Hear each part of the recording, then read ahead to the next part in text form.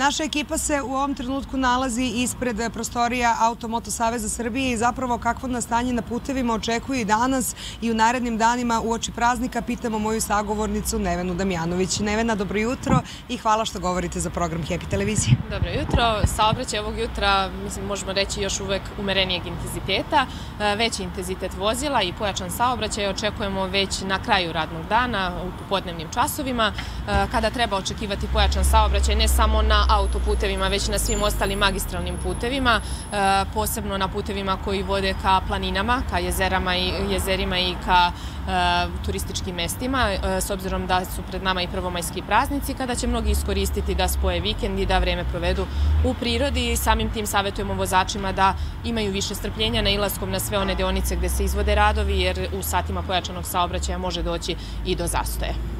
Kakva je situacija na graničnim prelazima i što se tiče vremenskih uslova na teritoriji naše zemlje?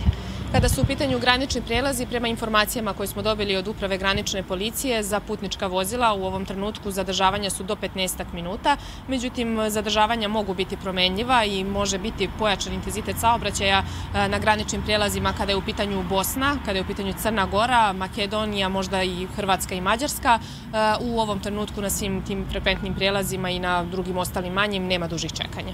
A što se tiče vremenskih uslova, meteorolozi su najavili promenljivo vreme, moguće i kiša. Kako će to uticati na puteve u Srbiji? Tako je, za sada su još uvek povoljni uslovi, međutim ima i te sumaglice koja je dalje prisutna na planinskim predelima, ovaj, ima i ovog jutra, to je u pitanju Crni vrh Kopaonik. E, e, biće promene vremena, kao što su najavili meteorolozi, biće mokrih kolovoza i klizavi, zato treba obratiti pažnju, e, voziti na bezbednom odstojanju da bi mogli na vreme da i bezbedno zaustavimo vozilo, a pre svega biti oprezani zbog mogućih odrona koji su karakteristični za ovakve vremenske prilike, e, poštovati sve saobraćajne propise i to je ono što savjetujemo svakako vozačima. Hvala vam najlepše na detaljnim informacijama. Poštovani gledalci, čuli ste ukoliko danas putujete, naoružite se strpljenjem i naravno poštujte saobraćajnu signalizaciju.